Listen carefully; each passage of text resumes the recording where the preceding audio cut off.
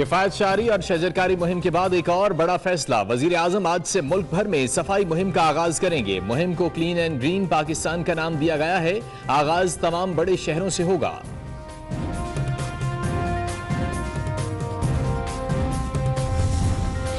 کیا مہنگائی کا طوفان آنے والا ہے؟ وزیر اعظم کا بجلی کی قیمتیں بڑھانے کا اندیا کہتے ہیں۔ گیس سیکٹر کا خسارہ ایک سو ستاون ارب روپے ہو گیا۔ بجلی کی قیمتیں نہیں بڑھائیں گے تو خسارہ اور بڑھ جائے گا۔ مشکل وقت سے گزرنے کے لیے مہنگائی کرنا پڑے گی۔ آئی ایم ایف کے پاس بھی جا سکتے ہیں۔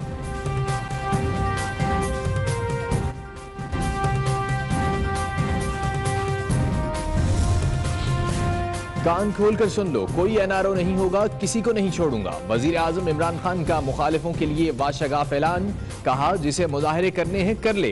شہباز شریف کو منڈیلا بنا کر پیش کیا جا رہا ہے۔ نیب میرے نیچے ہوتی تو پچاس لوگ جیلوں میں ہوتے۔ چیئرمین نیب کی رفتار سست ہے، ان کی ہر ممکن مدد کریں گے۔ ابھی کچھ لوگ پکڑے ہیں، مزید خوشخبریاں دیں گے۔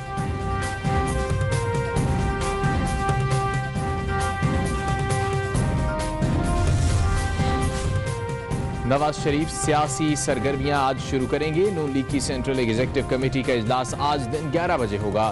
نواز شریف کا آج لاہور ہائی کورٹ میں پیش ہونے کا بھی فیصلہ۔ شاہد خاقان بھی پیش ہوں گے۔ ہائی کورٹ بینچ غداری کیس درج کرنے کی درخواست کی سماعت کر رہا ہے۔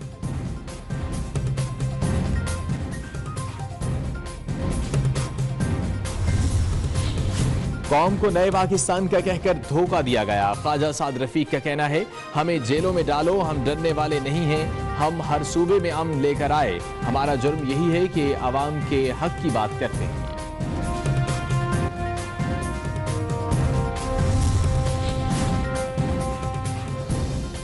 این اے پیسٹ کی ضمنی الیکشن کا مارکا قاف لیگ کے امیدوار چودھری سالک حسین کا بوچھال میں جلسہ، کہتے ہیں ان کے خاندان نے کبھی اپنی ذات کی سیاست نہیں کی، وہ اپنے دادا چودھری ظہور الہی کا مشن لیے سیاست میں آئے۔